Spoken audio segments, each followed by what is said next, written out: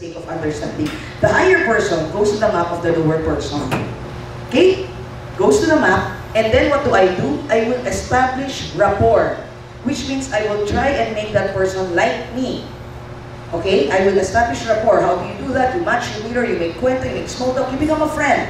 Whatever. Or if you're a leader, you don't believe in being friends with your uh, people who report to you because you need to keep a distance, you just stay there and you know talk to the person and listen more that is going to the map. And then pagkatapos yan, you establish rapport.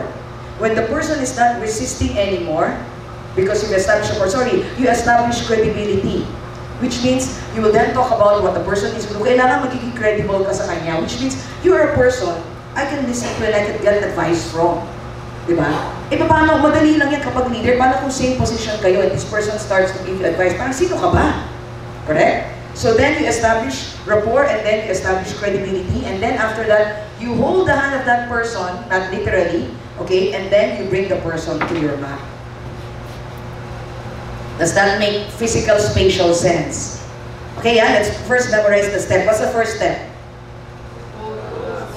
Go to the map. We need to walk. Walang pagkakaiba yan sinasabi natin, walk in the shoes of the person you are talking to. Go to the map. What's the next step? Establish rapport. How do you establish rapport?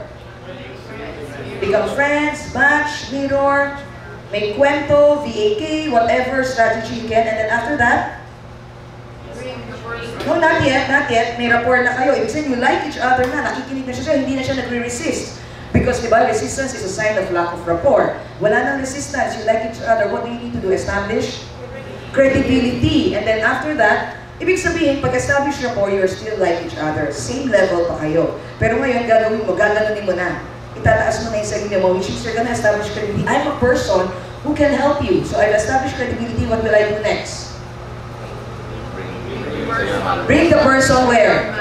To your map. And then, after that, ang finale is, whatever you want to achieve, do that. Make the person say yes, make the person do what you want, whatever, change the person's behavior, etc., etc.